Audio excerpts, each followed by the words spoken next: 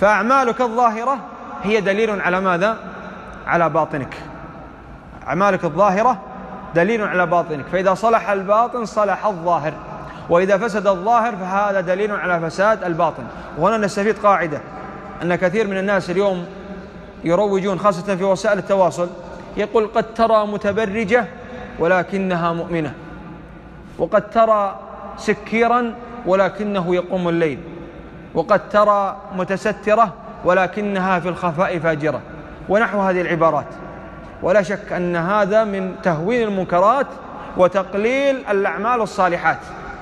فهم يقللون من شأن العمل الصالح الظاهر ويهونون من المنكر الظاهر. وأنا وأنت مطالبون بالحكم على الظواهر لا على البواطن لأن البواطن أمرها عند الله. البواطن أمورها عند الله وسرائر القلوب عند علام الغيوب. فمن أظهر لنا صلاحا قلنا هو صالح. ومن أظهر فسقا قلنا هو فاسق. ومن أظهر كفرا قلنا هو كافر. ومن أظهر شركا قلنا هو مشرك. وهكذا. لأن, لأن الأحكام تكون على الظاهر. أما الباطن إلى الله سبحانه وتعالى.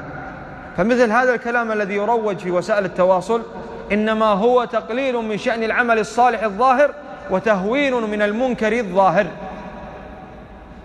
والرد عليهم نقول لو صلح الباطن لصلح الظاهر.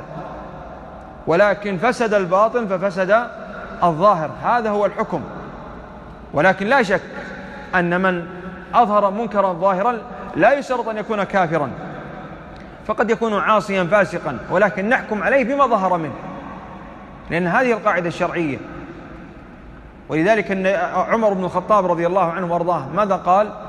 قال إن الوحي قد انقطع. إن الوحي قد انقطع لأن الأمور الباطنة قد يبينها الوحي للنبي صلى الله عليه وسلم لكن الوحي انقطع وإننا نأخذ الناس بظاهرهم. فمن أظهر حسنا حكمنا له بذلك ومن أظهر شرا حكمنا له بذلك أو كما قال رضي الله عنه وأرضاه. المهم القاعدة الشرعية الحكم بما ظهر لنا أما البواطن والسرائر فأمورها إلى الله سبحانه وتعالى.